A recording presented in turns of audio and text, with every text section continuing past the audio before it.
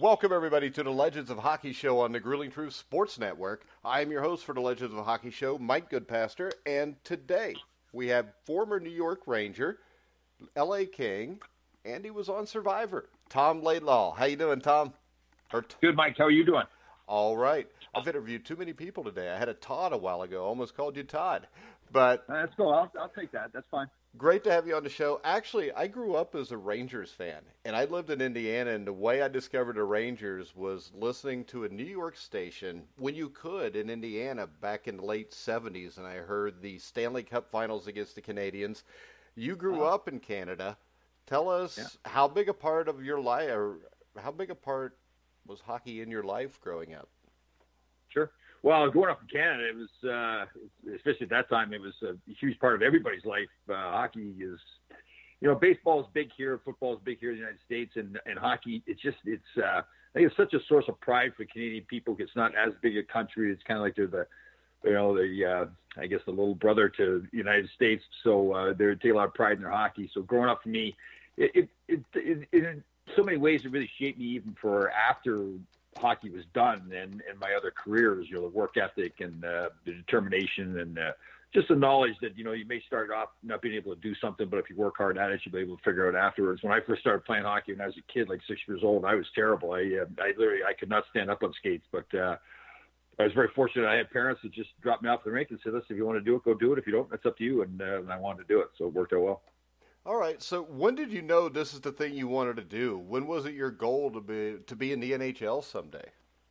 Yeah, I, I, in fact, I can tell you exactly. I wrote a paper. My parents kept it even uh, going into first grade. At the end of the summer, you come back to class, and the teacher asks you to write a paper about what you did during the summer and uh, what your goals are for life. And uh, I wrote down in that paper that I was going to play in the National Hockey League at six years old. So, uh, so it was early on. It, again, it was it was such a you know, all kids in Canada, you know, most of the kids in Canada growing up want to play in the NHL. It's just, you know, you know, you're almost afraid, you're almost embarrassed to say, okay, that's what I want to do because, well, of course you do, but nobody, you know, the chances of everybody making it is so slim. But uh, for me, it was just something that um, I wanted to do. And, and like I said, it was funny because I we played box lacrosse there too. So during the summer, they take the ice out of the hockey rink and we play lacrosse inside the hockey rink on the cement floor. And I was a far better lacrosse player than I was a hockey player. But I just had in my head that I was going to be uh, an NHL hockey player. And, and I just, I, I was so lucky, I think, my upbringing too. I grew up on a dairy farm in Canada. So uh, my father and grandfather had to run the farm. So they're up every day milking the cows, no matter what, didn't matter how they felt or what the weather was. And no, nobody's writing any articles, you know, saying how great they were on newspapers or anything. So I kind of grew up with that mentality that, um, you know, you don't have to be the best. You don't have to be somebody that gets us all the headlines. You just keep grinding it every day. And, and that's really how I had any success I had both in my hockey career and in my careers after hockey. All right, so let's take us through how you ended up playing your college hockey at Northern Michigan. What was the recruiting process for that? pretty, pretty simple recruiting process back then. Uh, uh, I was drafted uh, in the OHL draft. The Ontario Hockey League has a draft just like the NHL yeah. does. I was, I was, drafted by the Peterborough Petes, and the legendary coach Roger Neilson was coaching them. So I, I went there for one training camp. Really wasn't ready to play yet, so I went back home and played for my junior B team back home, uh, the Bramalea Blues. And uh, I had a couple of teams. You know, Brown was interested in me. They had me send my grades into Brown, and unfortunately, the Brown coach was really polite. He called me back one day. He says, "Tom, we'd love to have you as a player, but uh, there's really just not much we can do with your grades the way they are." So, um, so Northern Michigan. Uh, the first year I went there in 1976 was the first year they had a hockey program. So the coach came and recruited myself and four other players off my junior team. So I was all excited. I was going to get to go to a, a U.S. college. Uh, my parents were happy. I was going to go there to supposedly get an education, and it was all paid for. And uh, and it turned out to be so great in so many ways. I, I usually when kids go to college, obviously there's upperclassmen there, so they've got to you know they get limited ice time in most situations. Uh, but I went there, and I was fortunate we didn't have any upperclassmen. We were it, and I was lucky I got to be a four-year captain there, and uh, lots of ice time is really what I needed at that time to develop as a player. All right. Did we get to the NHL draft? You ended up going to the New Haven Nighthawks in the AHL. You were drafted by the New York Rangers. Um, yep. What was it like when you said it was your goal from the age of six? What was it like to yep. finally get that call? Uh, well, when I was drafted, it was interesting because now, especially I had a long career as an agent, so I was many years I would take my players to the draft, and it's a big thing. You go there, and families come in, and they're just they're all dressed up in suits and ties and everything. Uh, but back then, except for maybe the top players getting drafted, we didn't even go to the draft. And honest, to be honest with you, I don't even think I knew there was a draft. I knew there was a draft, but I didn't know when it was happening. And I was working. A buddy of mine, uh, he had a horse breeding farm in uh, Guelph, Ontario. So I was helping them out. Uh, it was a Saturday afternoon. We were in the uh, we were at the barn cleaning the you know what out of the stalls from the horses, and uh, obviously no cell phones back then. Uh, the Rangers had called my father at our farmhouse he then called uh, the farm where I was living. So they brought me up to the house. I got on the phone, and my father said, "I just got a call from the Rangers. You've been drafted in the sixth round by the Rangers." And I said, "Well, what do I do now?" And he said, "Well, get back out there and finish cleaning and you know what out of the stalls."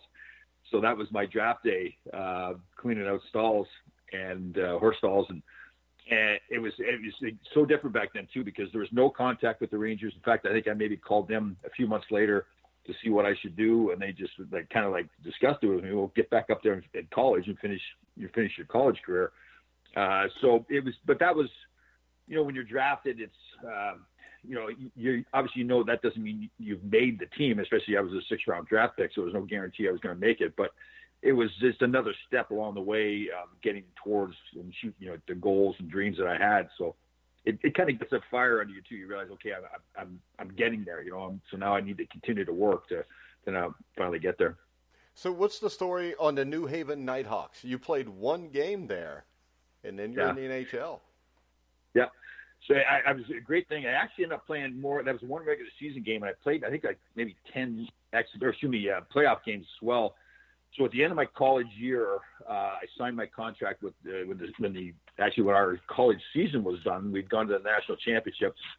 Uh, I signed my contract with the Rangers. They brought me to New Haven to play in the playoffs, which was a great thing for me because it was, especially back then, you really don't have any access to the National Hockey League unless you know somebody or a relative or something that's in the NHL. Not like today, where uh, I think the players are much more aware of what the NHL is all about. Uh, for us, pro hockey, I just I had no clue. I didn't know anybody that played in the NHL, nobody to talk to. So it was great for me to go to New Haven and play in the playoffs and see, you know, what the pro life was like, meet some of the players. Uh, when I first came to New York to sign my contract before they sent me to New Haven, it was the day of a game at Madison Square Garden for the Rangers, and Phil Esposito was still playing. So I was in the locker room before the game, and uh, you know, Phil's this legendary hero. Uh, you know, watch him play on TV all the time. He's got a huge personality, great player, Hall of Fame player, and so he comes walking in the locker room before the game, and I'm standing there and I'm just like, oh my God, you know, as much as I'm, I've signed my pro contract, I'm on my way, but here's Phil Esposito. He's potentially going to be my teammate. And he, uh, so obviously he didn't know who I was. He pulled some of the trainers aside and I could see they were kind of whispering, they were telling him who I was. And he comes walking over to me. And I swear, I, it's one of those scenes that you just, you couldn't, I couldn't believe this was actually happening. That Phil Esposito was coming over to talk to me. And he reaches out his hand. He was fantastic. He says, Tom, great to meet you. I've heard a bunch of great things about you and obviously he didn't really know that much other than what the trainers had just told him. But still, they the effort uh, he didn't have to do that. It was the day of a game, and he came over and uh, you know said, "Welcome aboard. We're looking forward to playing with you." And I was like, God, man, I could have died and gone to heaven right then." So it was uh, quite an experience. Yeah, and then we get to 1980-81 what was training camp like when you go in there, and what was the adjustment coming out of college? I know you said it helped a little bit, but it had to be a little bit of a culture shock once you're playing with NHL players. Yeah, and that was the biggest thing. The game itself, uh, I mean, this obviously it was much more, you know, more talented players, you know, real men, you know, bigger, more physical, tougher game. Uh, but it, it was really more just the culture shock. You know, living in New York, you know, the travel, um, you know, the age difference now, instead of playing with guys all my age, you got guys that are married and families and everything. So that, that was all different. But the training camp was, um, so again, now it's the game's very different. So everybody comes into camp in shape. In fact, the veteran players are probably the best conditioned athletes, and the younger kids need to learn a little bit more about conditioning. Back then, it was the exact opposite. The the players, the older players back then, went by the theory that once the season was done, they would hang up their skates and really rest their bodies, and then come back and have a longer training camp where they would get themselves in shape, have two day practices, play more games.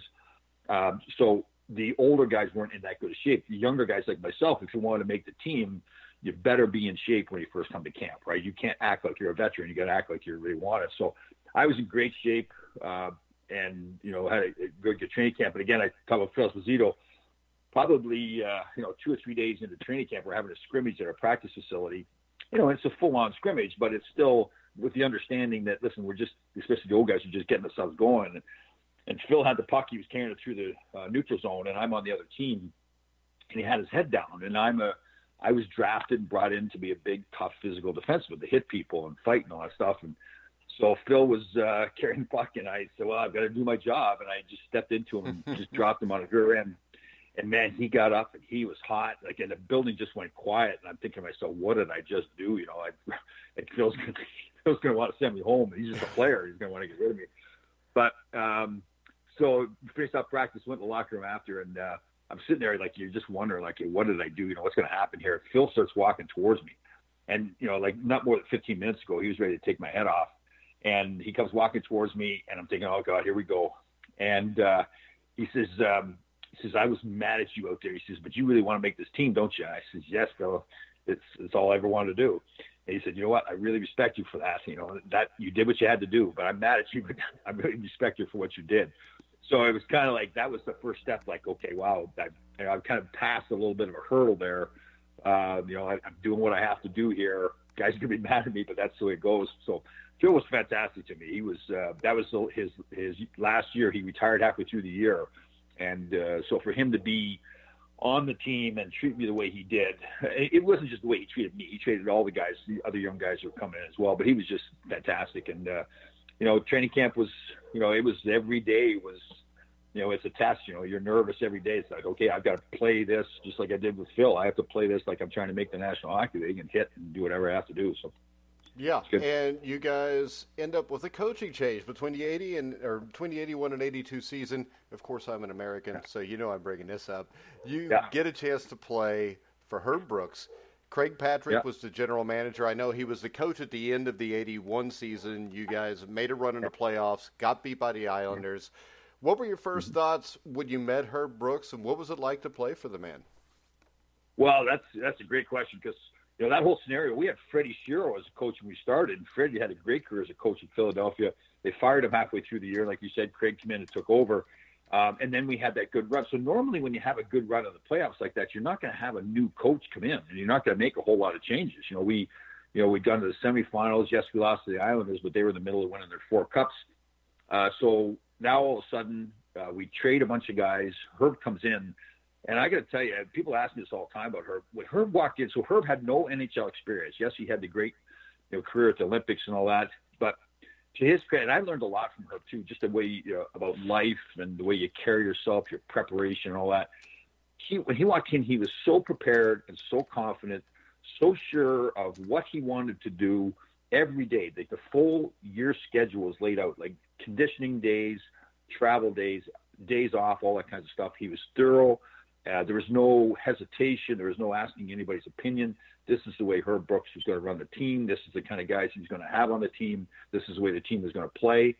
Uh, this is the way the team is going to conduct itself. So, you know, instead of having a bunch of veteran guys thinking, God, what are we doing getting this new coach after we just to the semifinals? It was, I remember thinking, okay, that's it. I guess Herb's in charge. And, uh, and he was, he, um, he was for me fantastic. You know, he didn't, like you said in the movie in the miracle, which is accurate. He says, I'm not looking for the best players. I'm looking for the right players. Like he wanted certain guys to fill certain roles.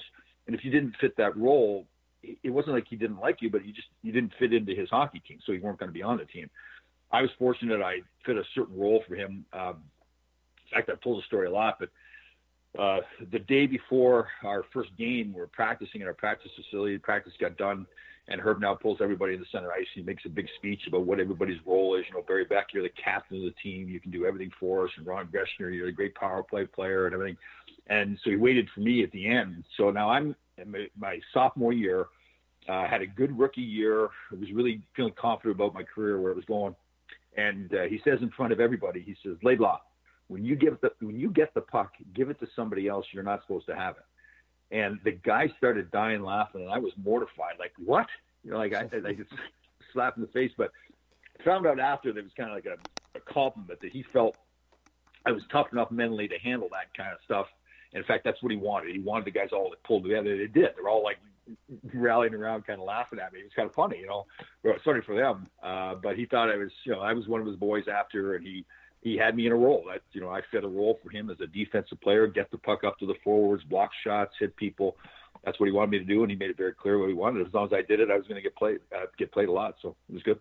Yeah, and I think that's why he was so successful as a coach because everybody has yeah. a role, everybody plays the role, you win. Yeah. I yeah. mean, it's and there's no yeah, yeah there's no exceptions. He was uh, and he was the boss. You you knew and he knew he got to know the individuals. Like again, you you look at the movie and how he selected the team. That was very accurate. Like he spent a lot of time getting to know who we were from other coaches that had coached us. Like he knew with me, like I didn't want to be coddled or you know, like if it was late in the game and you know you're, you're you've lost you know five or six pounds of water weight, and you're beat up and bloody and everything. But if we're up a goal and he needs to be out there to go out there and kill a penalty or something with 30 seconds to go, he would never come down and ask me, say, "Tommy, you okay?" He would just come down, literally kick me in the rear end and say, "Get the f out there." And it kind of like he knew that's what I wanted because basically he was saying to me, "I'd rather have you out there, no matter how tired you are, than anybody else in this role." So it was like inspiring to me. You know, like you'd, you'd be dead tired, but you'd fly over the boards because here's this coach who and the team that was counting on you so much. No matter how tired or beat up you were, they wanted you on the ice to do the job. So, and he knew that. Not everybody was like that. Other players were different, but he knew how I was, and he knew how everybody in the team was. Well, don't you think that's the key, whether you're running a business or a sports yeah. team, just being able to know that you can't treat everybody the same way. There's different buttons you have to push with different people. Totally. Yeah, and and it's the uh, and being that leader too. Like I said, you're right. It, whether you're the leader at, at home as a parent, as a teacher in school, or a boss at work, it's uh, it's being the guy that's prepared. And when you walk in the room, there's no question about your authority and your uh, your uh, your preparation, how uh, the hard work that you put in, and, and you have an exact vision. You're not there is no you're not asking for other people's opinion. I'm the dictator here. I'm the boss. This is the way it's going to be. Now, underneath all that, there are other roles to be played, other leadership roles by the captain, by the assistant coaches, all that. But as far as being that head guy, you're right. It's it's that's life in general. Herb, Herb had a lot of things that, you know, uh, one of Herb's great lines was "passes come from the heart." Uh, and what he meant literally when you're playing was if you're going to pass the puck to somebody, just don't hope that it goes on somebody's stick. Make it go on the stick. Put your heart into it. Uh, and it was it took me years later to realize that he wasn't talking just about the passes you make or you know certain parts of the game to play with your heart. He's talking about that in, in life. If you're going to do something, don't hope that it's going to work. Put your heart into it and make it work. So he he was great with that kind of stuff. Where like he really like life lessons and like when he'd have those sayings, but it would mean many things. You could, you could apply it to many situations. Yeah, and the sad thing is, Herb Brooks did a great job with the Rangers for about a four-year span there, and the problem was those damn New York Islanders. Oh yeah, oh no question. I mean, we had some fantastic games like that series that we lost in in 04 or excuse, uh, 84 when uh, Kenny Morrow scored the winning goal in overtime and Game Five, five game series. Man, it was uh, we listen. We were probably as talented as a team as they were, they just they had that way to win, but we weren't far behind. It was just those, you know, like I said, you know, you lose in overtime. We actually should have won the night before a game in uh, Madison Square Garden. We had them two games to one, and again, it was a, a best of five series at that point. This first round of the playoffs. If we just had won at Madison Square Garden, we would have beat them. But but they found a way to win, and that's that's the key to the way they played for you know five years. Yeah, because there's a few times there where I think you guys were probably the second best team and they were the best team. You just never got to the Stanley Cup Finals because of it. Yeah, totally. You know, and, and there's a few times during that run for them where they were. I remember a series against Pittsburgh really in the playoffs where Pittsburgh kind of had them, but they just couldn't finish them off. And they did that with a lot of teams where yeah, maybe maybe it looked like you had them, but they just they would always find a way to get it done. Yeah, and then 1985-86 season, um, Craig Patrick's still there as the GM. Herb Brooks is no longer there. What was the adjustment like to Ted Sator? Um, it was different. Um, you know, I, I try to be careful. I, I never, you know, you? It, Ted Sator not ended up being not. Uh, uh, let me see. How, how can I put it delicately? It just didn't work for Ted here. It, it did for a short period of time, but I think what we're seeing now with a few coaches like the Mike Keenans, Mike Babcock, Ken Hitchcock, uh, these kind of coaches want to. They part of their strategy for coaching is kind of these mind games that they're playing. You know, they're going to push buttons to get you mad and everything like that. It's to me, I don't think it really ever worked. I think players more put up with it and then went and won. And then the coaches would get credit for having these, you know, these masters, like being the master scientist, you know, the mad scientist to find find a way to push the buttons. I don't think that ever worked. And I think with Ted, that was kind of coach he was. Uh, you know, and listen, I admired him in so many ways. He, again, you talk about preparation or hard work. He was certainly, you know, second to none in that category. It's just that um, he, he wanted to try to play these mind games with people, and it just it just didn't work. And it, in fact, it really, you know, whereas with Herb, like Herb was like more direct. Okay, if I if I'm mad at you, I want you to do something. I'm just going to tell you I'm mad at you. and I'm going to tell you what to do instead of playing a little game to try to get you mad to do what I ultimately want you to do. I think these are your coaching men, and these men just just tell me what you want. And if either either they can do it and you know play me, or I won't do it, and you won't play me. So um, I think that that's where Ted got himself in trouble. Yeah, and the Rangers 85-86 had a losing record. Get in the playoffs though, and beat yeah. the one seed yep. the Flyers. You beat the two seed the Capitals. You guys end up in the Wales Conference Finals, lose to the Montreal Canadiens, if I remember right, in five games. Yep. In those playoffs, yep. a lot of close games, beating the Flyers and Capitals. You want to talk a little bit about that season? Yeah, well, playoff the guys run. Yeah. The guys really rallied together. And again, to the credit of the coaches too. I mean, they were they were all part of it. So as much as I was a little critical of Ted and his staff, they uh, you know I, they were part of that run we had. But you know, it like happens. You see teams that do well in the playoffs go on runs. You know, the guys all pull together. You get great goaltending. We had John Vanbiesbrouck was playing great in net, and uh, you know, it's one of those things. I think once we, you know, we were in the series with Philly and ultimately beat them in the first round, it really got. Now the guys kind of go, well, that's a tough series. We pulled together, like tough physically, and it really kind of rallies the guys together. And now you, you continue to go on your run. So it was that was good. It was you know I, I was lucky. I'd gone into the semifinals my first year, um, and then you think to yourself, well, geez, that's just going to happen all the time. You're going to go that far in the playoffs, and it didn't again until ultimately that year, then you know, in 85, 86. All right, 86, 87, you end up with the Kings. What was it Yeah. like when you were told that you were going to be moving on? Well, you know, it's funny. Uh, you know, as a pro athlete, you know that trades are part of it. Most guys, you know, do not get to play their whole career in one city. You know, I that was my only team I played on. I was a captain, assistant captain. I won Players Player awards. Uh, you know, so I, I just kind of assumed I was always going to be there. Now looking back, my my game had kind of fallen off. I'd hurt my back. I was missing games. Like my first four years, I, I didn't miss any games due to injury at all. In fact, it wasn't until my you know, I, I missed two games at the end of uh, my second year, missed one, and then in my fourth year because her wanted to rest me going to the playoffs, and I didn't miss a game due to injury until my fifth year when I ruptured my spleen. But then all of a sudden, now when I started hurting my back, it was like in and out of the lineup. And you know, looking back at it, you know, as you know, Phil Esposito was the general manager at that time, and ultimately traded me, and, and he did the right thing. I was not quite the player I had been before, and he was ultimately able to get you know Marcel Dionne in here. So uh, but it's a shock, you know, when you get traded. Like, again, you, I think if it's happened to you before, it's less of a shock. But the first time you get traded, it's, uh, you know, especially you're in New York. Uh, you know, the whole you're treated great here, playing in Manhattan.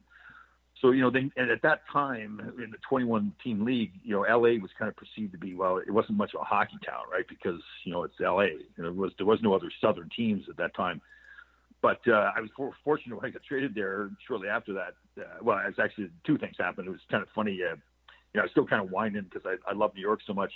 But it was the first Christmas Eve um, that we are in LA. I'll never forget we had a home that we had rented uh, and had a, a hot tub and a pool in the backyard. So on Christmas Eve, I was sitting out in the hot tub having a cocktail, and I'm thinking to myself, well, just maybe this isn't so bad after all, you know, playing out in California.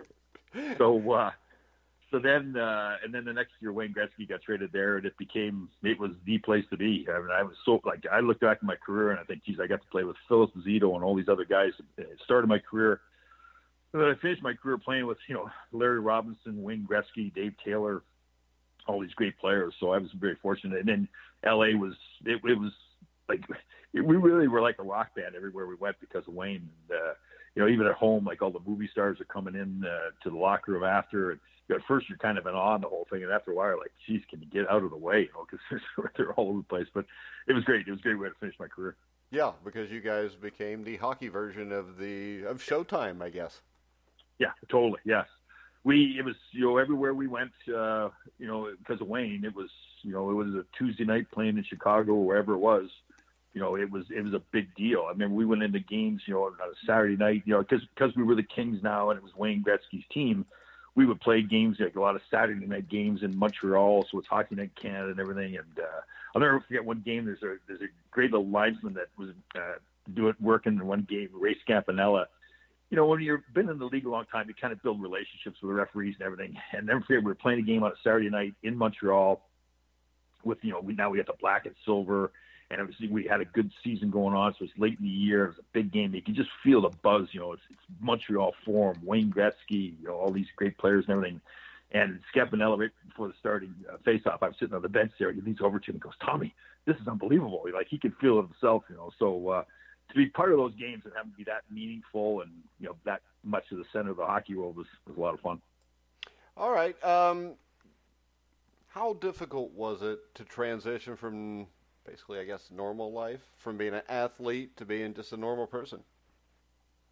Well, that's you know that's a great question, and I I'm, I'm lucky now because I get to go do a lot of motivational speaking and I talk to people about you know making adjustments in your life and you know you know kind of starting new things and I was I think I was really fortunate and it sounds strange saying it but we really didn't make a lot of money my the first year in the NHL I, my salary was sixty thousand dollars you know it was 1980 but still it was sixty thousand dollars I think the most I ever made was three hundred thousand um, dollars so I had a young family at the time didn't have a lot of money, so I, I had to get right at it. I had to start my agent business right away. I decided I was going to go on my own, and, and I had a couple of groups that wanted me to be kind of a recruiter for them, and I thought, well, no, I'd rather do it myself.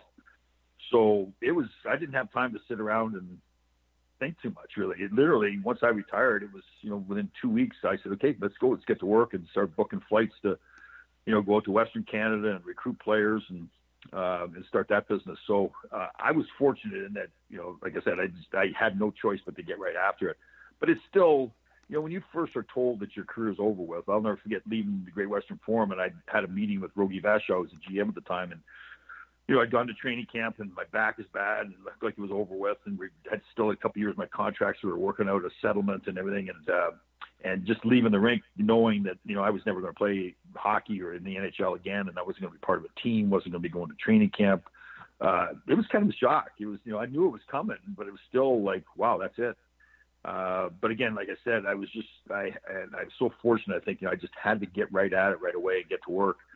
So it was, uh, my transition was pretty easy, really. There's a lot of guys even today, and it's funny, like you know, you talk about the money part of it. It's even tougher on some guys now because they have made uh, enough money where they don't have to work right away, or in some cases, maybe never have to work again.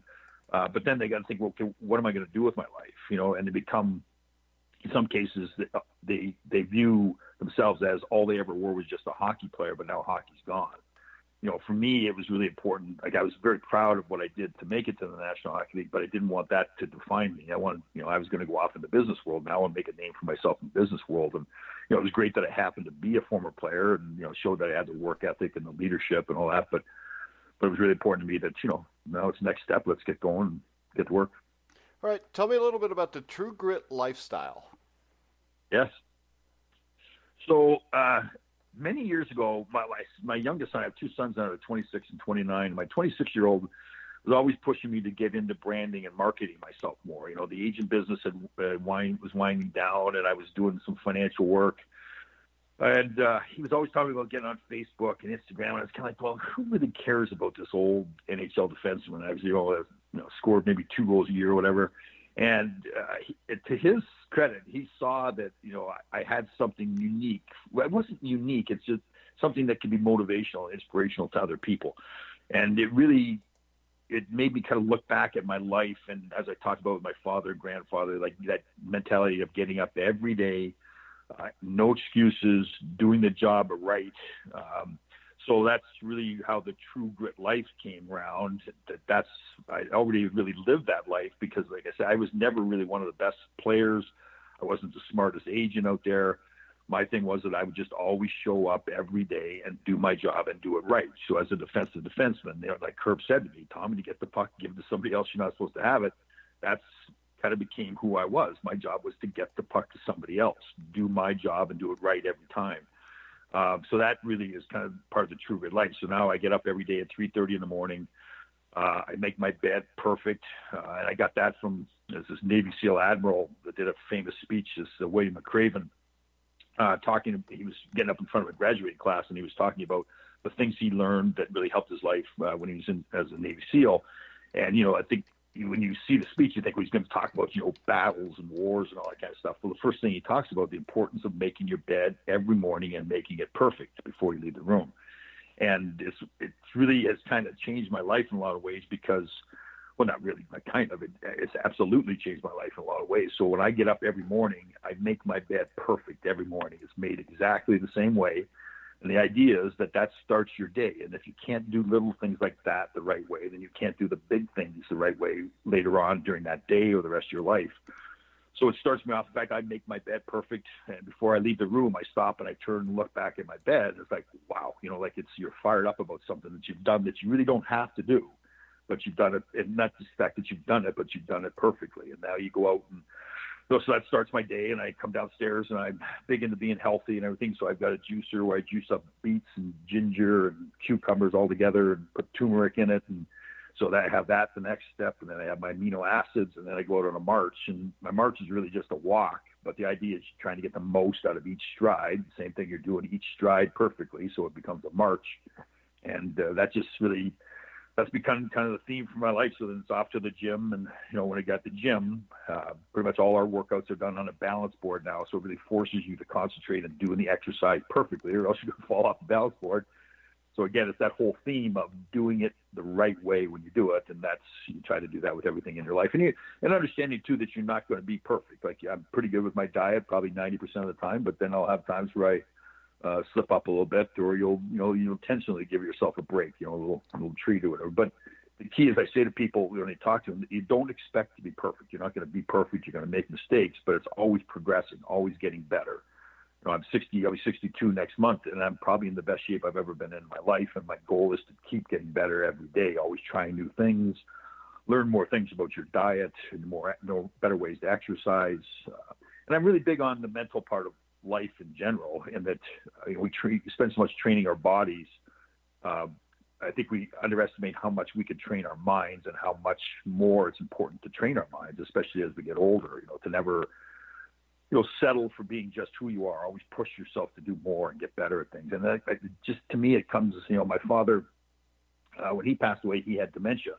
And, uh, you know, from playing contact sports, everybody thinks well, you're just going to have a lot of brain potential of brain damage, CTE, and all these things. And I, I have just found with myself that the more I continue to push myself and just don't settle mentally or physically for just what I have today, always look to get better. I, I just feel better about my whole life. I feel more, I'm in better shape, uh, sharper mentally.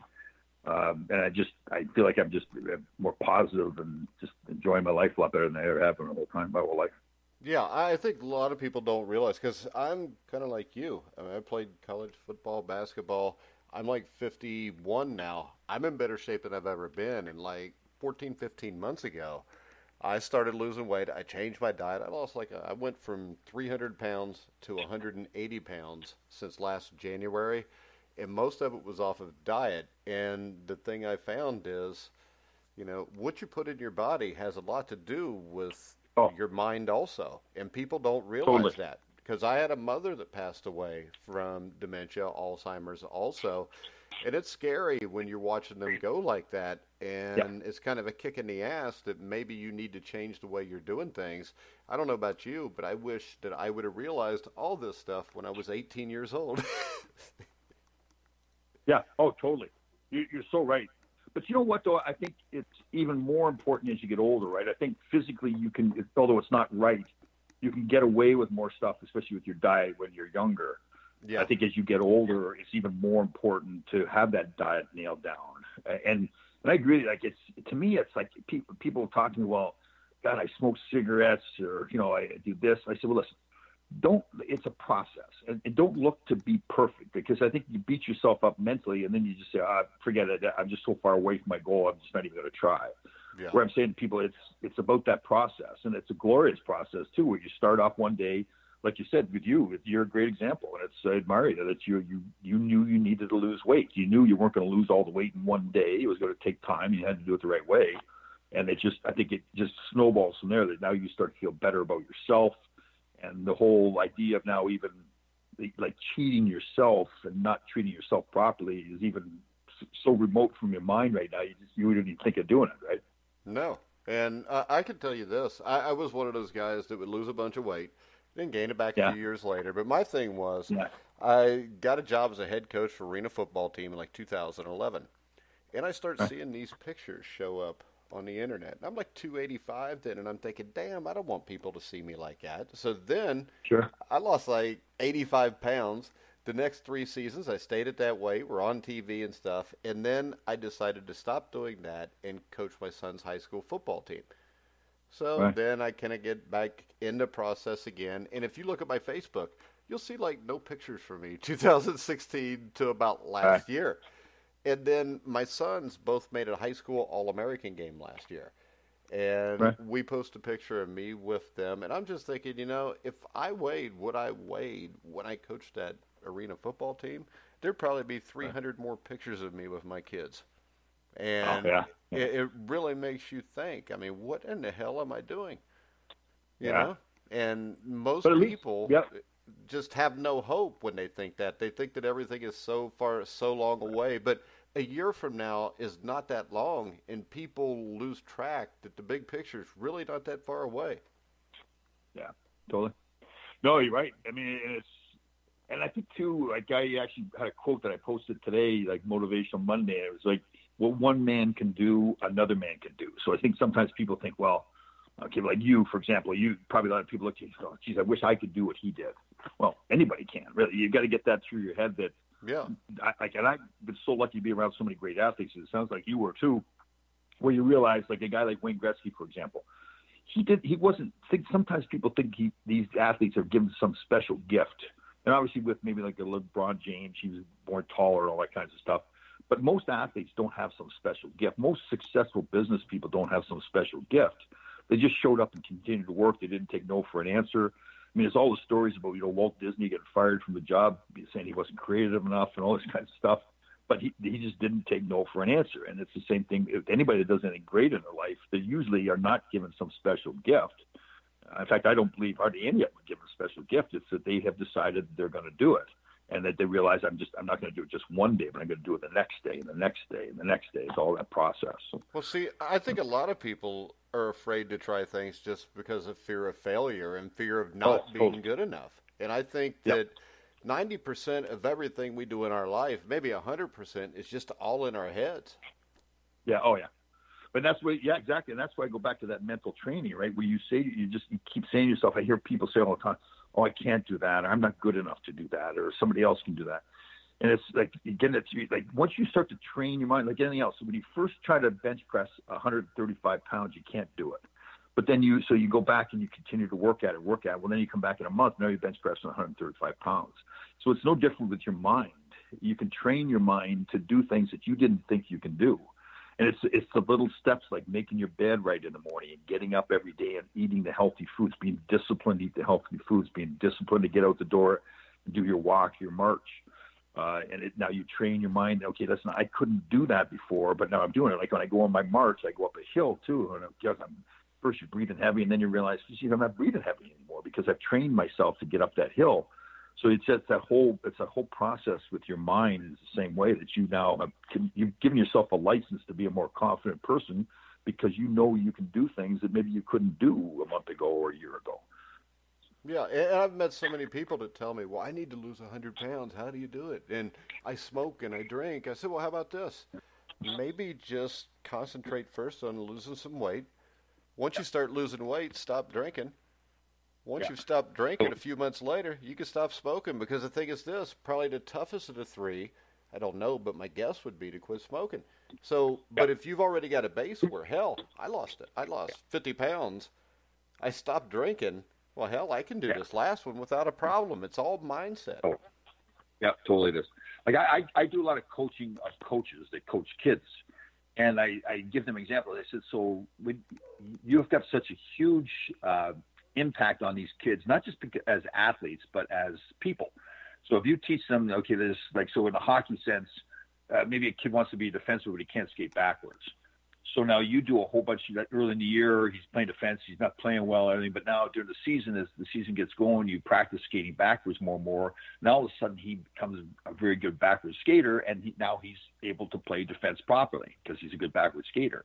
So now what you've done, you just like you're talking, you build that young guy's confidence up. So next time he goes and tries something, maybe at school or at a job or whatever, and if he can't do it, he doesn't get discouraged and says, "Oh, I can't do it." He he'll say, "Well, yes, I can't do it right now, but that doesn't mean I won't be able to do it in a month." And now he gets to work and teaches himself, and he works at it and learns how to do it.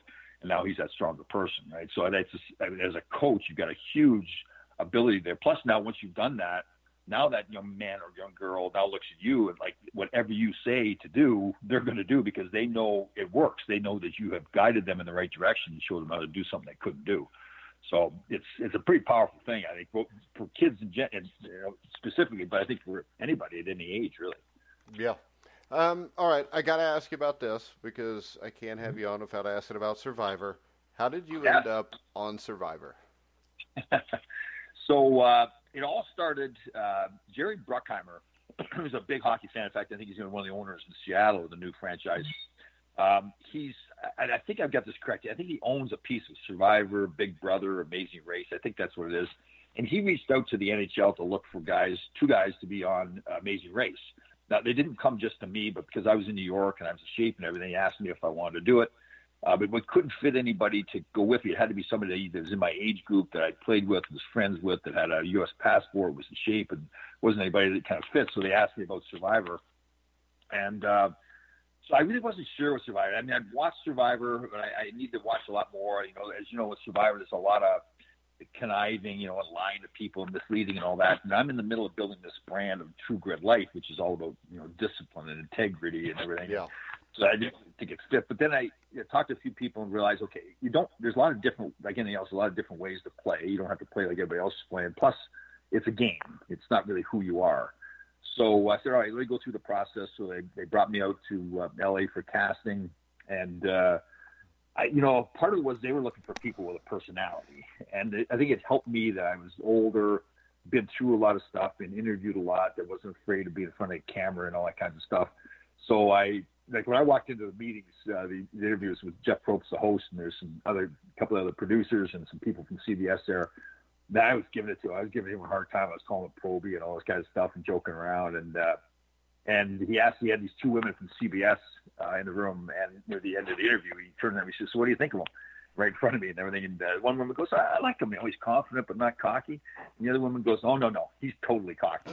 And uh, so it's of like yeah, you know, if you're doing an interview or something like that, it's kind of what you want, right? You want to know that you've got that personality going. So, uh, so that whole process went well, and then um, uh, they, you know, I think God, it was months before they finally get back to you. They they did a lot of. I was really surprised how much psychological testing they do on you. I think part of it is they know from past history who like who who they want to mesh together, like what personality traits do they want meshing together. They want some conflict or people form an alliance, all that kinds of stuff. And plus, I think with me, because I'd had a number of concussions, they really wanted to make sure that I was, you know, not going to flip on yeah. something like that.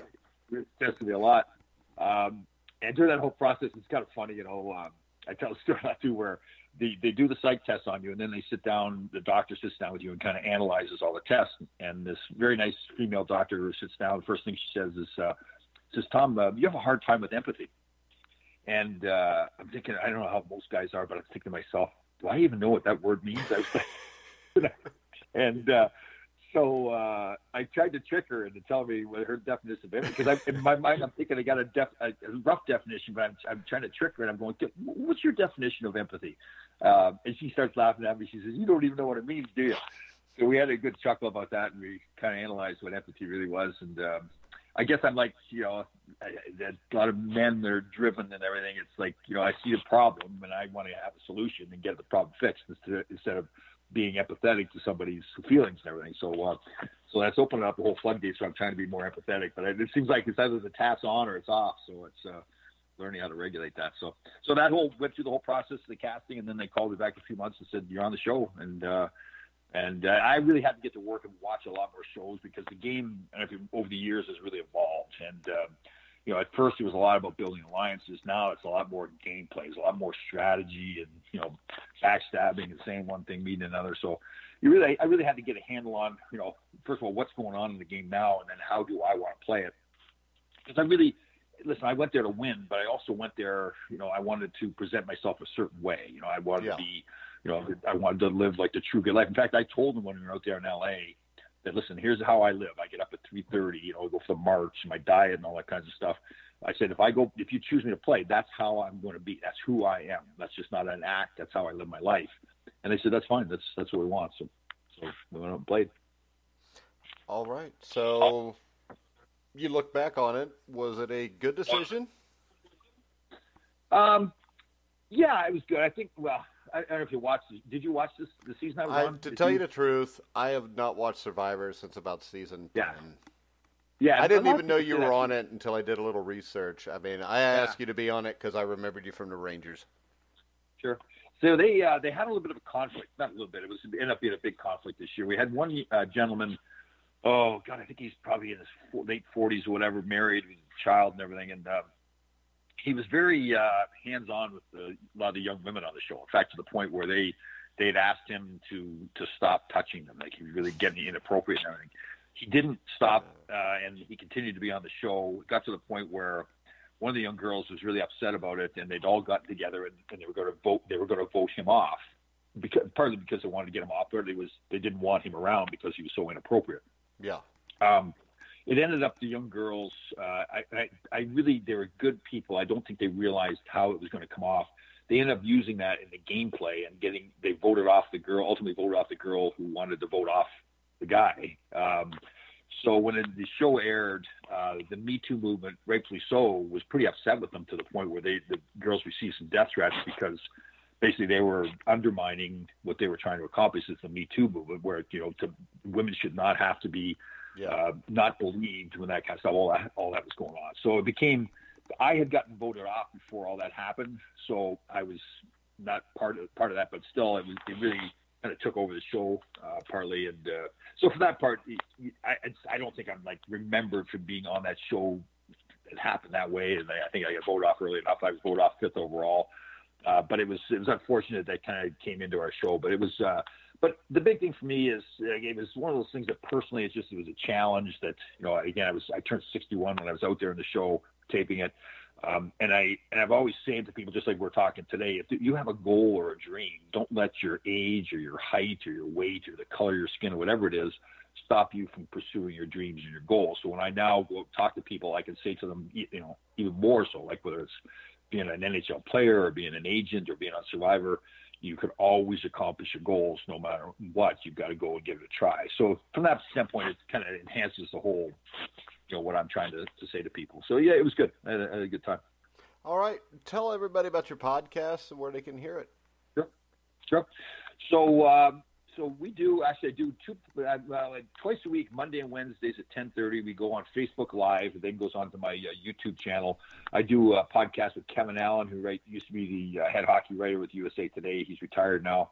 Um, I do another podcast. Uh, we use this on Thursdays right now uh, at 10 o'clock in the morning. Again, it's on Facebook Live, my Facebook page. Just Tom Laidlaw. I do actually with Elaine, who is Elaine Stout, Stott, who was on Survivor with me. Uh, she's from Kentucky. Hilarious girl, great personality. She became a very popular figure on the show. Uh, her and I were out there. We both got the same kind of personalities of picking on each other. So when we do a podcast, we have a lot of fun. Uh, and then we do random other, uh, you know, we'll get former players on. Uh, again, you can always go to my YouTube channel. They're always stored there. And again, uh, they're always stored on the YouTube channel, but they're always on Facebook Live on my page as well. So uh, we've got a book coming out here shortly called True Grit Life. And uh, we've got our website, truegritlife.com, where I have a lot of my writings on there. And um, so and we're very fortunate, although with this, uh, uh, this virus, it's just slow guys, that slow things down, stop them. I'm doing a lot of public speaking, a lot of things with the Rangers and uh, the National Hockey League going out and speaking to kids and coaches and businesses and everything. But again, that's all stopped right now, unfortunately. So, a lot more important things to worry about. All right, Tom, I want to thank you for coming on the show today. It was great having you. My pleasure. Thank you for having me. Nice talking to you. All right, guys, we're going to wrap it up. Did you have a Twitter handle you wanted to let people know about? Yeah, yeah at T Lades. Uh, again, the Facebook is Tom Laidlaw, and on Instagram it's Real Tom Laidlaw. Again, our website is uh, uh, excuse me, TrueGritLife.com. All right, guys. Make sure you check out True True Life Grit. True Grit Life. Yep. TrueGritLife.com. Well, see, I was hitting ahead from the age of five to about 22, so sometimes I forget stuff too. That But- happens. That happens. all right, guys, remember you can hear all of our podcasts on iHeartRadio, iTunes, TuneIn, Spreaker, Stitcher, Spotify, over 300 different outlets. You can follow me at The Grueling Truth. But for now, for Tom Laidlaw, I'm Mike Goodpaster. You've been listening to The Grueling Truth, where the legends speak.